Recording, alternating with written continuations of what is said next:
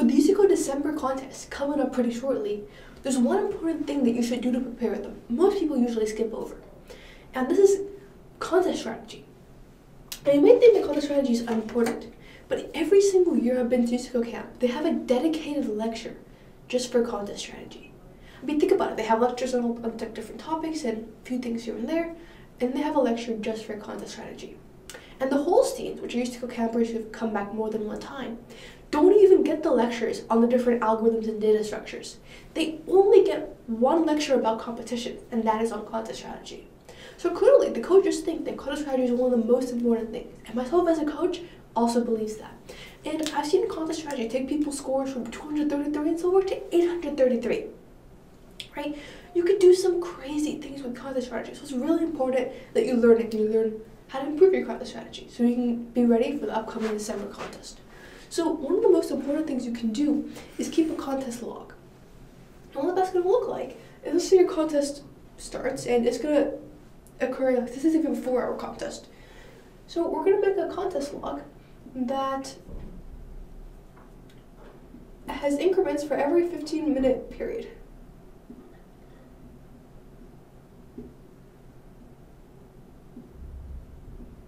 And so on and so forth. This is what a contest log is going to look like. And at every 15 minute period, we're going to stop and write down what we did for the previous 15 minutes. This might be read all problems, think about P2. It's pretty short. This might be think about P2. Not even the word about, just think P2. Here it might be code P2, code slash debug, and so on. Just a couple phrases, words here and there. Now, many times when people do this, they're like, ah, I can't do this for you, I'm gonna, gonna lose my focus. But the thing is, it's really essential that you do this, because a couple words won't really lose your focus that much. And what it will do is you might notice you're working on the same problem for an hour and a half. You might be like, uh, debug, P2. And you're like, wait a second. I've been working on this for a long time, but I'm almost so, so close, I'm so close. Spend more time on it. And that's what happens like, when you're debugging. You're like, oh man, I'm so close, I'm so close, I'm, I'm almost got it. And then you lose an hour and a half in two hours, and you don't even know about it. I can tell you after the contest, you spent two hours on that. You wouldn't even believe me if you don't keep the contest log. It's possible that you're leaking a lot, it's actually very likely, that you're leaking a lot of time debugging problems, and you don't even think about it, because like, it's a contest, you're excited, you don't realize how long you're spending on this. So keeping a contest log will make you aware of this, and you can maybe cut it off like here or something, and get 30 minutes back. The thing about cutting it off here is you can always come back to that problem later. Right, the contest length isn't shrinking. So let's give you, this will give you the opportunity to work on other problems and maybe get partial credit on those. Maybe one of those problems is easier to code, easier to debug, easier to fix. You can come back and spend 30 minutes later. Motivation has not left your contest. You simply decided that you'll do it later. And later you can decide, is it especially 30 minutes back to debugging P2 or working on a different problem?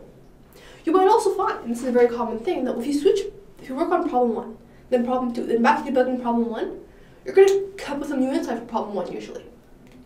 And that's because when you're working on that, when you switch back and forth, your brain has had some time to like step away from it and come back. So you're not very like used to it. So you get like not really a fresh pair of eyes, but like more fresh than it was before. And I found it's very common that the student spends like an hour and a half trying to debug a problem, can't get it, goes back to a different problem for 30 minutes, finishes that problem. Then the next 15 minutes of debugging the first problem, they get it.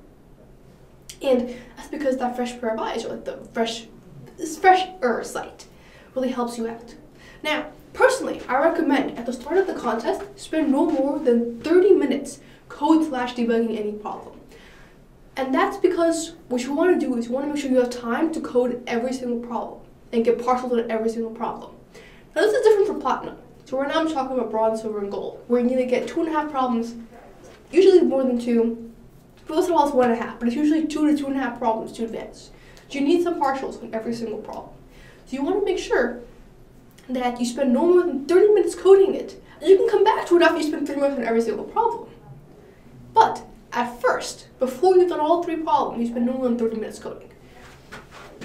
And so what we want to do is you want to cut off problem two here after we spend 30 minutes coding and work on a different problem. So you work on P1, P1, maybe P3, and then we can come back to P2 if we choose to. But at this point in time, we have a better sense of the contest, and we can decide if we want to work on P2, P3, or P1. Right? There's much different problems that we could choose to work on. My P, I mean problem. Problem this is problem one, problem three, problem two.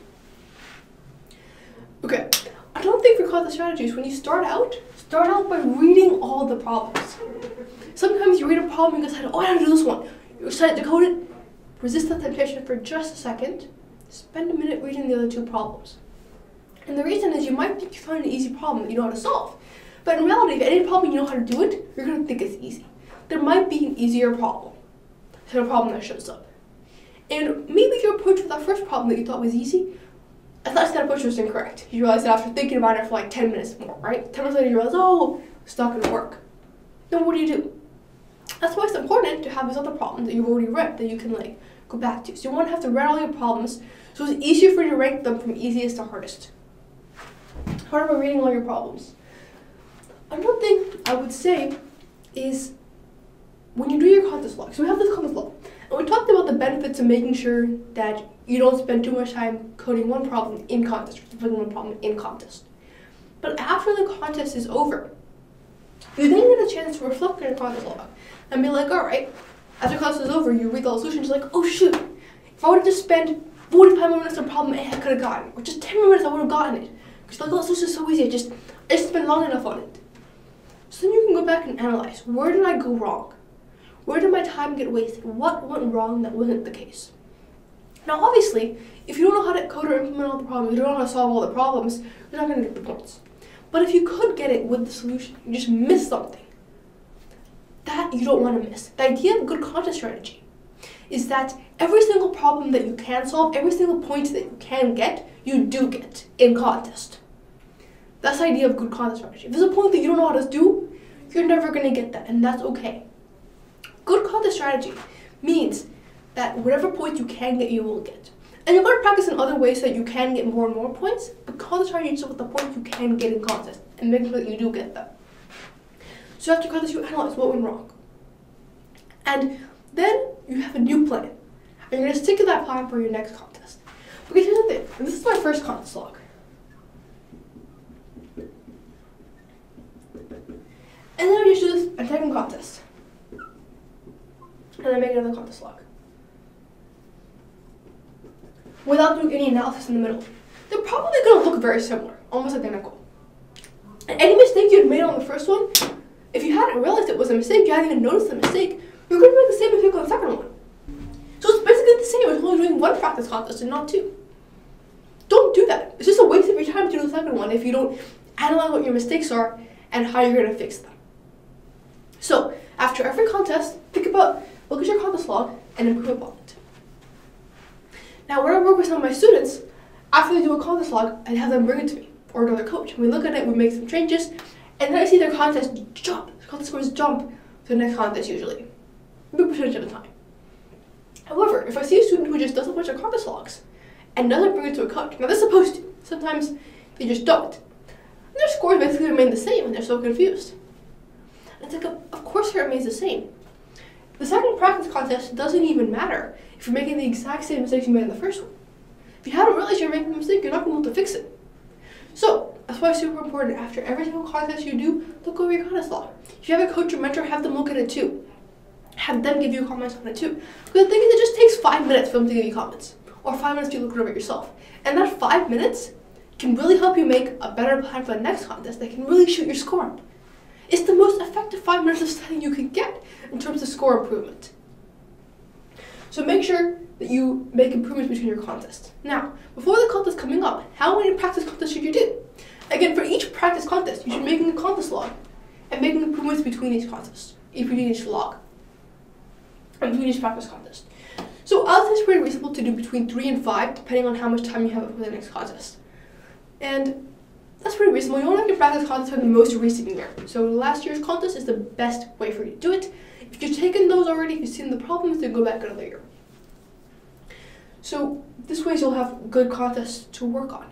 Now, one more thing. in contest, it's still important that you keep a contest log. How long does it really take you to write a couple words here and there? Less than three minutes in the entire contest. And that less than three minutes can really make a big improvement in making sure you don't spend an hour and a half debugging a problem that you're not going to get anyways. Maybe you do get it after an hour and a half, but it's not worth it because you could have gotten two other problems instead. Okay, now I want to give some tips for Platinum 2 because I really think that for Platinum you don't really need to solve two problems. Um, one and a half is about correct, but you simply get partial partial scores in that one and a half. So at the beginning, you just want to read all your problems and just pick which ones you think you can get the most partial. So read the partial scoring, now they always have partial scoring in USACO, and try to solve each of the subtasks. See how many partials you can get. Now, although you only need one and a half, I still highly, highly recommend you do all three. And the reason is, you might be able to get, say, like 75% on one, 25% on the other, and 25% on the other.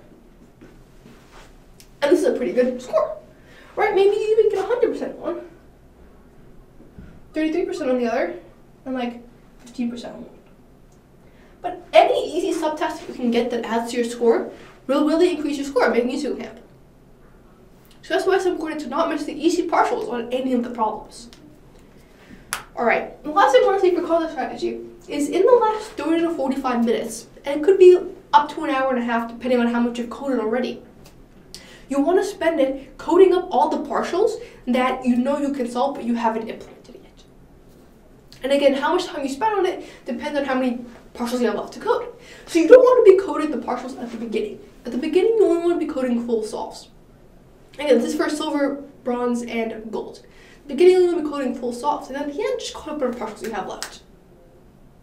For platinum, it's okay to code up partials earlier the thing, because as we talked about, right, this is a this is actually a great score.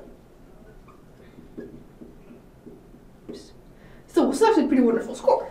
It's just partial. So whenever you think you can get a high number of partials, just code it up. And of course, you still want to save time at the end, even for platinum, to code up any remaining partials you missed. So that's it for content strategy. Be sure to work on it and improve your content strategy before the upcoming December contest. I'll see you next video later. Bye.